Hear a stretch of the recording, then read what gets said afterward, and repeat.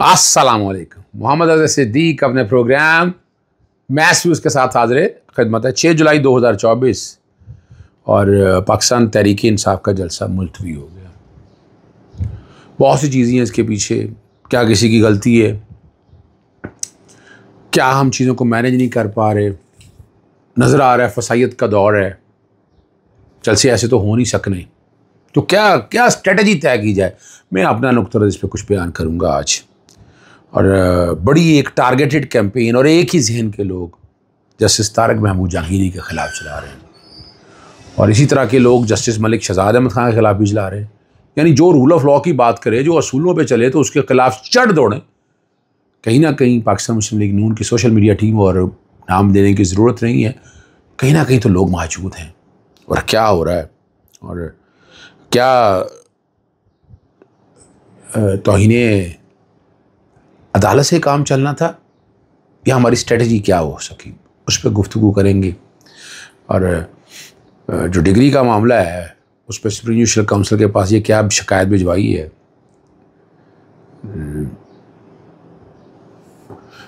इमरान खान में जेल में जो सहूलियात देने के हवाले से मैंने बड़े तफसीली एक मरासला साल किया मैं कोशिश करूँगा उस पर उस पर गुफ्तु करूँ। लेकिन सबसे पहले जलसा मनसूखी पे, सोशल मीडिया पर डिवाइडेड ओपिनियन है। ज़्यादातर कह रहे हैं कि मौजूदा क्यादत जो है वो चीज़ों को मैनेज नहीं कर पाई और जल से हैंडल नहीं कर पा रही। अच्छा इसमें एक लीगल स्ट्रेटजी में एक गलती तो है, जो मैं समझता हूँ। हमें आइनी दरख्वास्त को पेंडिंग रखना चाहिए था जलसा होने तक। यानी इसको डिस्पोज नहीं कराना था डिस्पोज कराना शायद ये हमारी एक गलती है, या लीगल स्ट्रेटजी हर एक की अपनी है, मेरा नुकता नज़रिया फिर उन्होंने बड़ी चालाकी से काम ये किया कि वो एन ओ सी विड्रॉ कर लिया। जब एन विड्रॉ हो गया, इस्लामाबाद हाई कोर्ट की हिदायत के मुताबिक तो जलसा शायद ऐसा नहीं हो रहा था, वो ऑर्डर जो कि फ़ाइनल मैंने देखा नहीं है, उस ऑर्डर में तो मेरी इतला यही है कि ये जनाब चूँकि इजाज़त दे दी है, और वो फिर रेट गैर मौसर हो जाती है कि इजाज़त में दे दो जी। लेकिन इसमें जो चीफ कमिश्नर का इख्तियार है ना, कि वो एन ओ सी विड्रॉ किया, उसको असील करना चाहिए था, और मैंने ट्वीट भी किया इस बारे में। कि मैं समझता हूँ, फैसला देखें, मैं, एक मेरी राय है, मैं एक वकील भी हूँ, ये एक मेरी राय है, मेरी ज़ाती राय है, और दूसरा जब इतनी बड़ी कॉल दे रही है तो जलसा तो करना था। जलसा तरनौल ना होता तो आप के बी के बॉर्डर पे कर सकते थे। यानी लोगों को डाउन ना होने दें सारे मसले में। बड़ी मुश्किल से लोग बाहर निकल रहे हैं। और मेरा जानता ख्याल है कि यहाँ मैनेज नहीं हो रहा, यहाँ अदालतें पूरा कोशिश भी कर रही हैं तो इसकी कॉल एक बिल्कुल बॉर्डर पे दे दी जाए के पी के पे। पंजाब से भी लोग आए हैं। यानी वैसे देखें के पी के के अंदर बड़े जलसे हो रहे हैं, ज़बरदस्त मानसरा का कमाल कर दिया पाकिस्तान तहरीक इंसाफ की क्यादत जो है मौजूदा क्यादत अपना तारीफ़ है उनकी। लेकिन ये खाली इस तरह नहीं चलेगा अब। अब आगे मुहर्रम शुरू हो गया।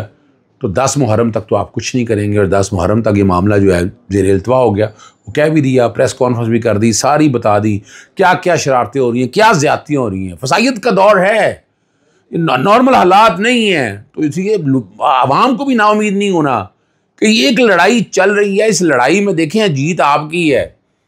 और वो जीत यही है कि आवाम निकल आए। आवाम सड़कों पे निकल आए। आवाम हर चौक में, हर मोहल्ले में निकल आए। यानी वो तो किसी ने नहीं रोका ना आपको। वो तो आप कर सकते हैं। अदालत ये हमारी इंतज़ामिया ने आपको इजाज़त कोई नहीं देनी है ये जहन में रख लीजिएगा।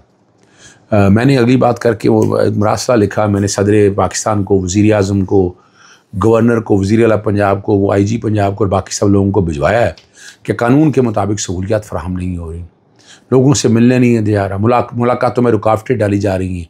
बुनियादी सहूलियात फ़राहम की जाए और जेल में सहूलियत ना की है तो अदालतों से रबता किया जाएगा। अभी आपके सामने अगली बात जो है, वो इमरान खान साहब के तीन केसेस तरह दहशत गर्दी, फैसला महफूज कर लिया है। इमरान खान के वकील सलमान सफदर ने अच्छे दलाइल दिए और सरकारी वकील ने बोंगिया का लफ्ज़ तो नहीं है, गैर ज़रूरी चीज़ें कही हैं और वो ख़ुद अपने जाल में फंस गए और सरकारी वकील जो दलाइल दे रहे हैं, वो हैरान कौन है? जो तीन गवाह पेश कर रहे हैं, क्या उनके खिलाफ कोई डिसिप्लिनरी या इंतबाती कार्रवाई हुई? सरकारी एहलकार पाँच माह तक खामोश रहे। और, ये तो मेरे मौकल इमरान खान का सीधा सीधा बरीत का केस बनता है। आज मैं कह दूँ कि हम अगले साल ज़मानत नहीं लेनी, ये खामोश हो जाएँगे। ये ज़मानत पाँच माह तक इस्तदार दहशत गर्दी में जेर अल्तवा रही लेकिन गिरफ्तारी नहीं मांगेगी। समझे ना बात को, यानी ये बड़ी बड़ी वैलिड और लीगल और कॉन्स्टिट्यूशनल आर्गूमेंट और फंडामेंटल राइट्स के लिए। ये जो गवाह पेश कर रहे हैं, उसका हमसे मामले से कोई ताल्लुक नहीं है। आप जो गवाह पेश कर रहे हैं कि चक्री पर एक सब इंस्पेक्टर चक्कर लगा रहा था, और दूसरा ने साजिश का सुना। जरा समझे बात को। कमरा अदालत में क्या क्या लगे इस पर, और जज भी मुस्करा दिए। और, और जो है ना उन्होंने कहा तफ्तीश दरकार है इमरान खान साहब से ये उनका कहना है। भारत फैसला महफूज हो गया। मैं बे मेरिट पर ज़मानत बनती है।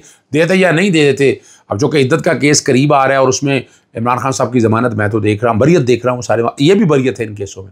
लेकिन चलें अब वो जैसे तारक महमूद जहांगीरी के खिलाफ बड़ी एक टारगेटेड कंपेन चल रही है। एक ही तरह के जहन के लोग ये सारे चल रहे हैं। मैंने वो ट्वीट भी किया वो बैकग्राउंड में मैं आपके सामने शेयर भी कर दूँगा। और मैं, ये मैं अपना नुकता नज़र बयान करता होता है देखिए, मैं, मेरा इस पार्टी इसमें पार्टी पॉलिटिक्स से कोई ताल्लुक नहीं होता। ये मैं, जो कि एक इंडिपेंडेंट माइंड से ये बात देनी है। और कराची यूनिवर्सिटी के कंट्रोल इम्तहान की जानब से सोशल मीडिया पर ये, यानी अंदाज़ा लगाएँ, तस्वीरें उतार के वो चल रही हैं। तस्वीरें आखिर किसने उतारी? कौन इसको लीक कर रहा है?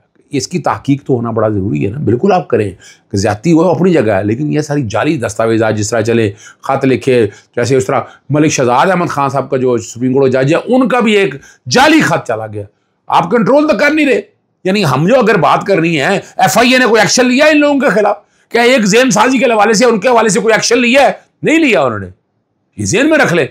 और हफ्तावार एक मीटिंग में जो है ना ये बात करते हुए जो है ना, उन्होंने कह रहे हैं जी सोशल मीडिया पर मुतल ने जैसे जहांगीरी के ख़िलाफ़ जो है ख़ास और मुबीना तौर पर सुप्रीम काउंसिल के भेजे के रेफरेंस को शेयर किया।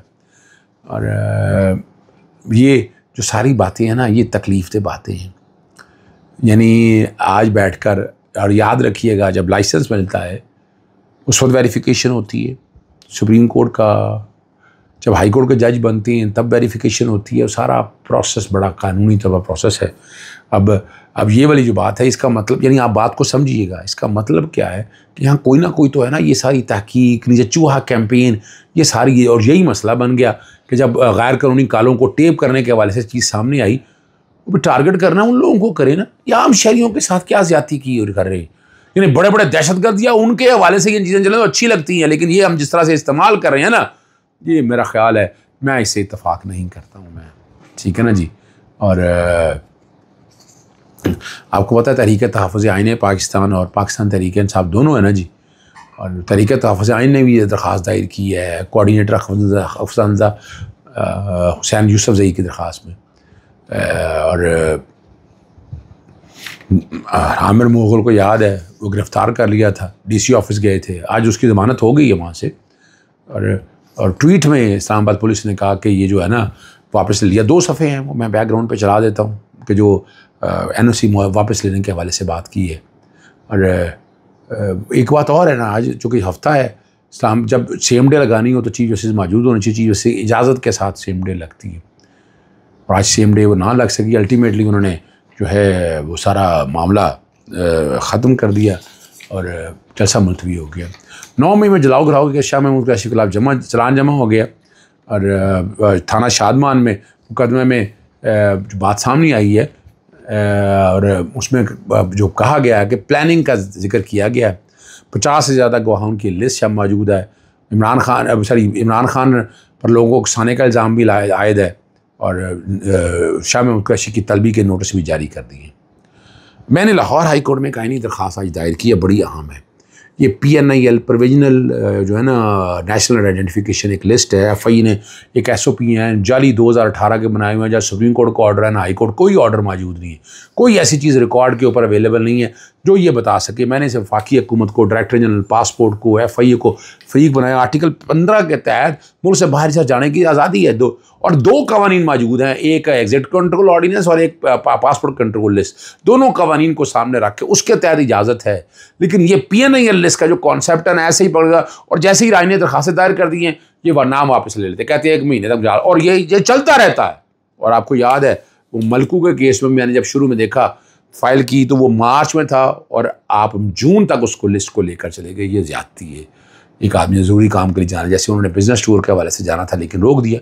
यानी कि आर्टिकल नौ, चौदह, पंद्रह, सत्रह भी अगर देखा जाए, पैंतीस, सैंतीस, अड़तीस की खिलाफ वर्जी और अदालत से इस्तः की गई है कि ये provisional license provisional national P N I list जो है ना, और इसका अमल जितने डायरेक्टिव में सारे गैर कानूनी करार दिया जाए। इजाज़त चाहता हूँ अल्लाह हाफिज़, पाकिस्तान, जिंदाबाद।